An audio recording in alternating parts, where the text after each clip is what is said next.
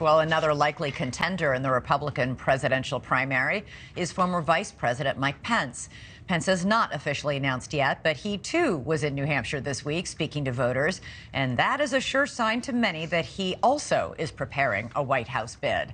For more on the growing field of GOP hopefuls, let's go to Marc Short, former chief of staff for former Vice President Pence. Marc, good to have you here. Um, is the vice president still deciding whether to run or deciding when to announce?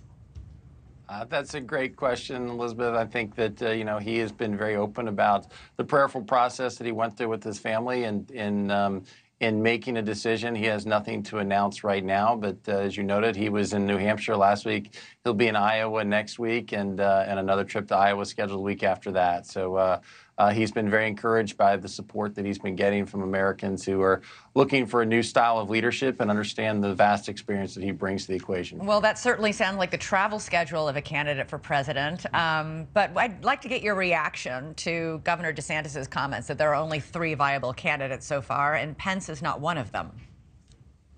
Well, I don't think that's uh, surprising that that's something that Governor DeSantis would say. I think that the governor has had a, a strong record uh, in Florida, but I think that certainly the last couple months have been uh, very challenging for him and his team with a lot of uh, a lot of different news that's broken out of Florida. So I'm not sure that he's entering this race at the strongest point.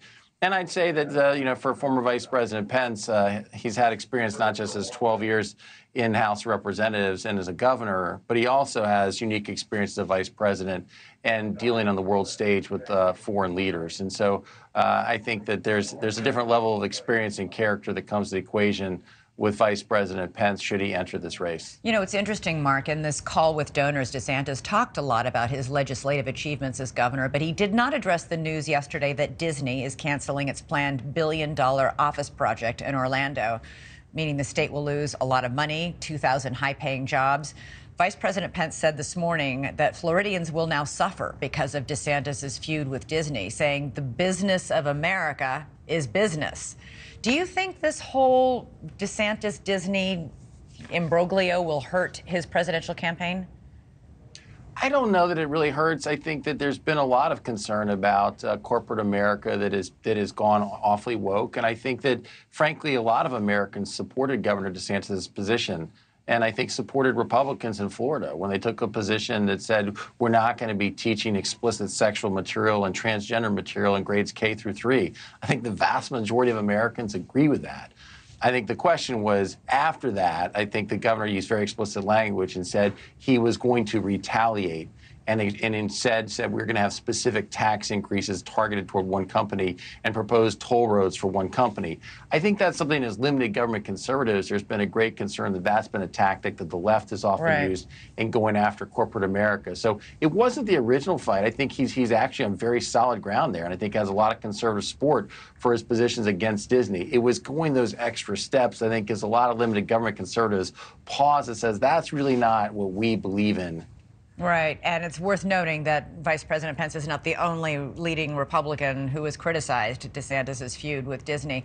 You know, DeSantis may lag more than 30 points behind Trump in polls, but Pence is even further behind. And as you just noted, you know, four years as vice president, many years in Congress, many years as governor, he's not an unknown. Why are his numbers so low? Well, Elizabeth, for one, he hasn't entered this race yet. And I think that the reality is that at this point in the cycle in 2008, uh, Rudy Giuliani was leading by more than double digits. In the summer of 2011, when we had an Iowa straw poll, Michele Bachmann won that straw poll.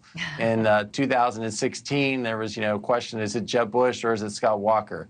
There's a long road ahead here, and I think that it's important for Americans to actually see these candidates on a debate stage and be in a conversation with each other. And I think that's really when this gets started, probably toward the end of the summer. Right. Finally, I, I just want to ask your reaction, Marc to former President Trump's comments in that town hall last week that he did not owe Pence an apology after his supporters rioted at the Capitol chanting, Hang Mike Pence.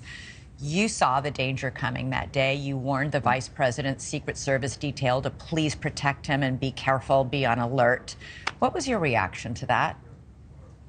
Well, Elizabeth, I don't really care about whether the, the, former president provides an apology or not. I think what is factually wrong and disingenuous is saying that, that he didn't think that the vice president was in any danger.